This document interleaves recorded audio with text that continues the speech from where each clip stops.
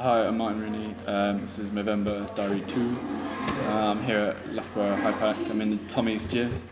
Um, this is, this is the HiPAC gym. Not very busy, just finished working out. But I thought I'd show you my moat.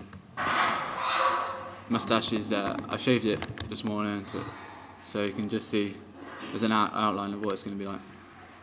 But in a couple of days it'll be a bit longer outline, something to be proud of, and I'll be gentle. But I'll give it a couple of days and I'll show you again. Cheers, bye bye.